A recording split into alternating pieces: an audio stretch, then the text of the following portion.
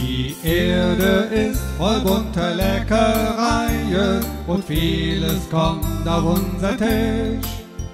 Wir danken Gott, er hat den Tisch gedeckt und dir, dass es dampft und klasse schmeckt.